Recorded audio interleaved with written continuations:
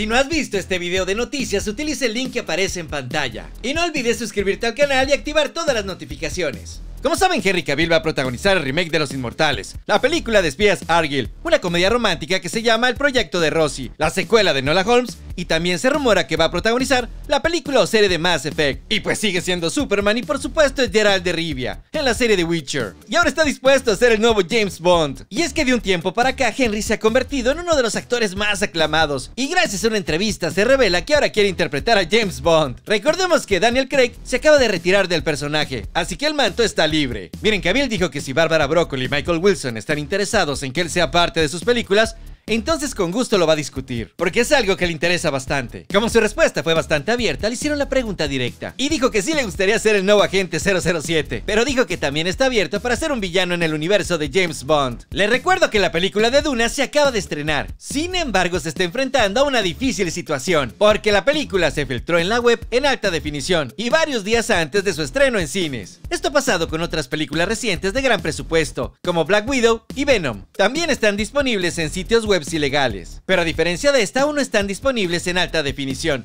ni tampoco hay subtítulos en varios idiomas. Por eso los reportes señalan que rara vez vemos una copia con tan alta resolución como la de Dunas, que incluso es compartida con subtítulos en inglés, danés, español y árabe. Según los expertos, la piratería de Dunas está dentro de las expectativas normales del estudio, porque reconocen que este es uno de los daños colaterales al lanzar las películas simultáneamente en los cines y en HBO Max o en otras plataformas digitales. Algunos de ustedes me han preguntado si esto va a afectar a la secuela de la película, y lo único que les puedo decir es que es muy pronto para saberlo. Pero es muy posible que sí continúen con la siguiente parte. No hace mucho, Denis Villeneuve dijo que se sentía muy optimista, porque Legendary Warner lo respaldaban al 100%, y pues la película tendría que ser un fracaso total para que los estudios detuvieran la secuela. Quiero aclarar que hasta este momento la secuela no ha sido anunciada de manera oficial, así que Deadline se lo preguntó directamente a Anne Sarnoff. Ella contestó que si vemos cómo termina la película vamos a saber la respuesta a esa pregunta. No sé ustedes, pero esta es una declaración muy curiosa, porque por un lado puede aludir a que la película solamente va a cubrir la primera mitad de la novela, entonces tal vez está diciendo que están listos para regresar a este mundo en algún momento, o quizás están insinuando que la película termina con un mensaje de continuará. En cuanto lo vea se los confirmo, o si uno de ustedes ya la vio, pues comenten en los comentarios, solamente les pido que no hagan spoilers del final, nada más díganme si termina con el mensaje de continuará.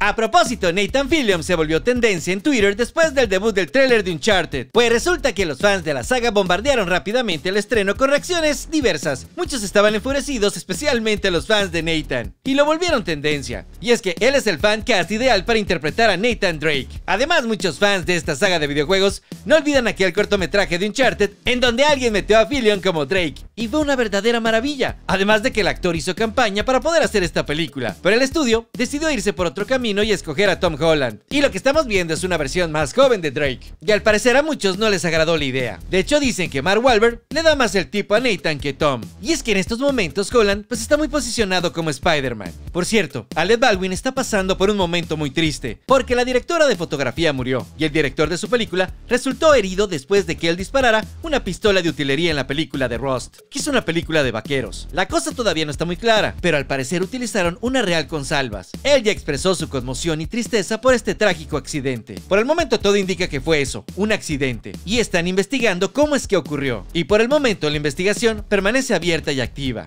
y no se han presentado cargos. Al darse a conocer la historia, la familia de Brandon Lee también sacó un comunicado respecto al tema, por obvias razones. Les entristece que esto haya ocurrido otra vez, porque hace 28 años, Brandon Lee, el hijo de Bruce Lee, murió en un accidente parecido. Esta noticia ha resonado tanto en Hollywood que ya está tomando serias medidas. Por lo pronto, la serie The Rookie sacó un comunicado donde prohíbe el uso de armamento real. Miren, este tipo de noticias son bastante tristes, pero se tienen que compartir para que no vuelvan a suceder. Cambiando de tema, la serie del calamar sigue escalando, y ya es un fenómeno global que trascendió a Netflix. Me imagino que ya te enteraste que hay miles de padres preocupados porque los niños están imitando los juegos de la serie en sus recreos. El detalle es que están haciendo sus propias versiones, en las que las balas se sustituyen por patadas en el trasero. En otras escuelas son puñetazos, empujones o humillaciones. Por ahora solamente han sido casos aislados, pero la comunidad educativa está culpando a los padres de que los niños vean este tipo de series que luego quieren emular en el patio de juegos. Algunos colegios mandaron circulares a las familias en las que se les advierte que la producción coreana no está recomendada para menores de 16 años, porque incluye un alto contenido de violencia explícita. E incluso hay otros que han optado por prohibir los disfraces de Halloween de cualquier personaje del juego del calamar. Y pues ahorita hay un tremendo debate porque hay personas que dicen que debemos de enseñarle a los niños a cómo consumir esa violencia y sobre todo a cómo interpretarla. Otros dicen que hay que tener límites y otros dicen que la prohibición va a generar todavía más interés por ver la serie. Y los creadores de la serie, así como Netflix, han reportado que la serie no busca generar violencia. La serie critica que la violencia se ha convertido en un pilar fundamental de nuestra sociedad. Por cierto, el juego que más están recreando es el de la luz roja, luz verde, seguido por el del dulce del caramelo. Por el momento la mayoría de estos casos está pasando en Inglaterra y España, y pues parece que la mayoría de ellos está aprendiendo sobre la serie en TikTok, porque el juego del calamar se ha viralizado aún más por la temporada de Halloween. Y en el universo de superhéroes, los fans están conmocionados porque la película de los Eternos estrenó un nuevo avance que confirma a Superman dentro del UCM. Y desde entonces todo el mundo está en éxtasis porque se están imaginando a los Vengadores junto a Superman. Porque mientras DC lo rechaza, esta película confirma que existe en el UCM, cuando menos como un personaje ficticio. Y es que en este tráiler tipo detrás de cámaras, vemos una escena donde el hijo de uno de los Eternos dice que uno de ellos es como Superman, y ese personaje le contesta, pero yo no uso capa. Este tipo de referencias sí existen en los cómics, pero es muy extraño que suceda en el cine. Pero este gesto denota que hay un cierto respeto entre ambas empresas. Claro, siempre van a ser competidores, pero en ocasiones se han unido para mezclar a sus superhéroes. Creo que esta noticia de cierta forma ha unido a los dos fandom, porque ya hay muchos que están emocionados porque piensan que este podría ser el principio para el crossover más extraordinario en el género de superhéroes. Obviamente me refiero a un crossover entre DC y Marvel. Creo que ahora sería fácil, porque ambas franquicias cinematográficas tienen un multiverso, así que ya tienen el conducto para que estos personajes interactúen entre sí. Pero hasta ahorita, pues sigue siendo un sueño guajiro, y simplemente fue una referencia, y Chloe Zhao, la directora de la película, pues ya habló al respecto. Y esta mujer sí que sabe cómo desanimarnos, porque de cierta forma se hace responsable de la referencia, pero al mismo tiempo nos da a entender que no estaba hablando sobre ese Superman, aunque todos sabemos que sí lo fue. Ella dijo que está en el negocio de contar historias sobre mitología, y el superhombre proviene del origen de cualquier mitología, y asegura que aparece en muchas culturas diferentes, así que hay un constructo de este superhombre. Y la gente que creó a Superman y los brillantes cineastas que lo han llevado a la pantalla grande, hicieron su interpretación moderna de esa mitología. En pocas palabras es una referencia de Superman, pero al mismo tiempo no lo es. Y se lo hubiera creído si no hubieran incluido el comentario de la capa. Porque como dato histórico, Jerry Siegel y Joe Schuster, los creadores de Superman, también crearon el concepto de la capa en 1938. Y ellos se inspiraron en el personaje del zorro. Y no creo que el zorro esté en la mitología ancestral. O quién sabe, quizás sí. Así que dime qué opinas de esta referencia. ¿Fue o no fue del hombre de acero? A propósito, Sony acaba de agregar dos nuevas fechas en su calendario de lanzamientos para el 2023. Lo emocionante es que ambas películas son de Marvel. Bueno, del universo de películas de Spider-Man en Sony. Obviamente por el momento se desconoce qué películas serán, pero una se va a estrenar el 23 de junio y la otra hasta el 6 de octubre de ese año.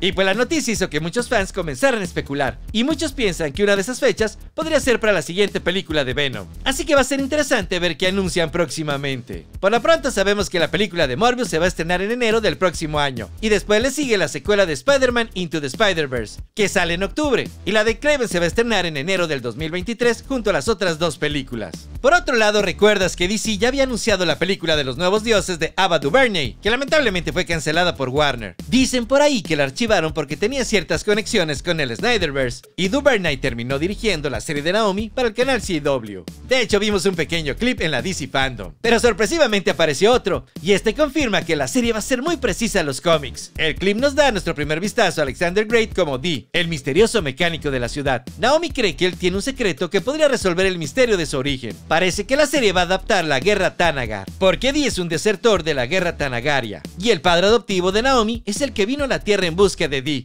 Pero como todo extraterrestre en este universo televisivo, termina enamorándose y quedándose en la Tierra. Por si no lo sabías, Naomi es una de las historias más nuevas de DC Comics. Cambiando de tema, Giant Freaking Robot reporta que Margot Robbie ya firmó un nuevo acuerdo con Warner para interpretar a Harley Quinn en tres películas más. Es muy probable que una de ellas sea la secuela del Escuadrón Suicida, porque esa película resultó ser un éxito para Warner, y pues Harley sobresalió en ese escenario. Otra película en este nuevo acuerdo podría ser la supuesta película de Gotham City Sirens. De esta manera Harley Quinn se uniría a otros villanos de Ciudad Gótica, como Poison Ivy y Catwoman. Sin embargo, desde hace mucho no ha habido ninguna noticia oficial sobre este proyecto. Y la tercera podría ser una película en solitario de Harley, pero lo más seguro es que la involucren en otra película con otros personajes. Si esto llega a ser cierto, pues es una buena noticia para sus fans, porque no podemos negar que Robbie nació para ser Harley Quinn. Además de que el personaje va evolucionando cada vez que la interpreta. Gracias por quedarte al final del video y ha llegado el momento de invocar a nuestro gran oráculo, la gran bola 8, que ve más allá de lo evidente y que nunca se equivoca. ¡Nunca se equivoca! Y la pregunta de este video tiene que ver con Margot Robbie. Porque quiero saber si realmente una de esas películas es la de Sirenas de Ciudad Gótica, porque me encantaría verla con Gatúbela y con Poison Ivy. Además, Margot ha dicho que le encantaría ver ese romance con Poison Ivy en el live action. Así que, ¿quiénes somos nosotros para decir lo contrario? Así que, oh gran oráculo que ves más allá de lo evidente, una de las películas que va a realizar Margot Robbie en DC es la de Poison Ivy. Bueno, la película donde va a salir con Poison Ivy, Sirenas de Ciudad Gótica. Y la respuesta de nuestro oráculo es...